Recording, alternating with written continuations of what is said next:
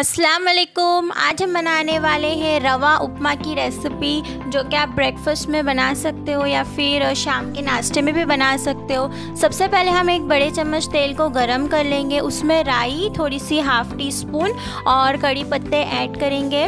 राई को हमें अच्छे से स्प्लैटर होने देना है। अब हम इसमें एक बड़ी साइज़ की प्याज को कट करके ऐड कर देंगे और दो हरी मिर्ची को बारीक बारीक कट करके डालना है। इसको हम थोड़ा फ्राई कर लेंगे। प्याज को हमें हल्का हल्का सा सॉफ्ट होने तक फ्राई करना है। और अभी तक अगर आपने मेरे चैनल को सब्सक्राइब नहीं किया है तो जल्दी से जाकर सब्सक्राइब कर लीजिए और बेल बटन को ज़रूर दबाइए। क्योंकि बेल बटन को दबाने से मैं जो भी नेक्स्ट रेसिपी डालूँगी, वो सबसे पहले आपको मिल पाएगी। अब मैंने वन टीस्पून इसमें अदरक लहसुन का पेस्ट ऐड किया है। अदरक लहसुन की कच्ची स्मेल को ख़त्म होने तक भून लिया है। अब इसमें थोड़े से मैंने सेंग ऐड किए हैं। सेंग को हमें अच्छे से फ्राई कर लेना है। सेंग जब फ्राई हो जाते हैं ना तो फूटने लगते हैं बीच में से। तो आप समझ जाइए कि ये फ्राई हो चुके हैं। देखिए, सेंग हमारे अच्छे से ऑयल में फ्राई हो चुके हैं। अब हम इसमें पाव चम्मच, हल्दी और वन टीस्पून नमक ऐड करेंगे। इसको भी थोड़ा सा पका लेंगे।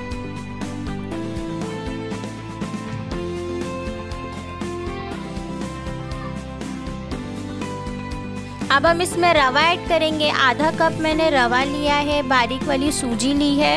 इसको ऐड कर देंगे। बारीक या फिर थोड़ी सी मोटी जो जैसी भी सूजी है आपके पास तो आप वो डाल सकते हैं इसमें। अब लो फ्लेम रखना है और लो फ्लेम पर ही हम इसको थोड़ा सा भून लेंगे, ठीक है? भूनने से इसका टेस्ट जो है, ज़्यादा अच्छा आता है। तो हल्का हल्का सा लो फ्लेम पर हम इसको भूनते जाएँगे। देखिए, भून लिया है, अब हम इसमें पानी ऐड करेंगे तो जितना हमने रवा लिया है, उसका डबल पानी ऐड करेंगे। आधा कप मैंने रवा लिया है तो एक कप मैं इसमें पानी ऐड करूँगी। गैस की फ्लेम को लो रखेंगे और जल्दी जल्दी पानी डालते डालते ही हमें इसको मिक्स करते जाना है, ठीक है? रुकना नहीं है, वरना इसमें गाठी पड़ने लगेगी। फटाफट इसको मिक्स करते जाएँगे फ्लेम को लो रखेंगे और इसको कंटिन्यू हमें थोड़ा थोड़ा सा चलाते रहना है ताकि रवा हमारा जले ना बर्तन में, जो है नीचे से लगे ना।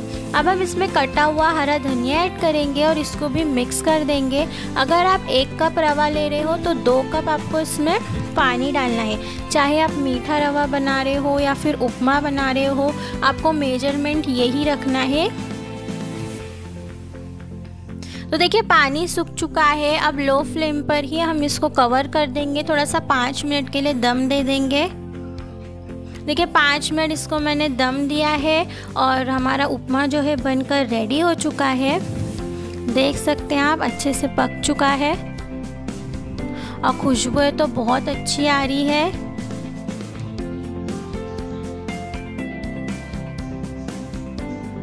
अब हम इसमें आधा लेमन जूस ऐड कर देंगे ठीक है? आधा मैंने नींबू ले लिया है इसके ऊपर डाल देंगे।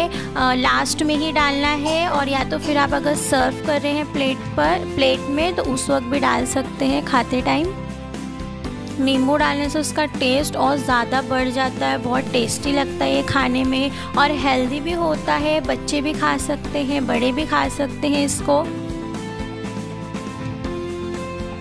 तो देखिए, हमारा रवा उपमा बनके बिल्कुल रेडी हो चुका है। हमने इसको सर्व कर लिया है। डिश में बहुत ही टेस्टी और मज़ेदार ब्रेकफास्ट रेसिपी है ये। आप इसको ज़रूर नाश्ते में बनाकर खाएँ या फिर शाम के नाश्ते में बनाकर खाएँ। आपको ज़रूर पसंद आएगी ये रेसिपी तो फिर मैं मिलती रहूँगी आपसे इसी तरह से नई नई रेसिपीज़ के साथ। अल्लाह हाफिज़।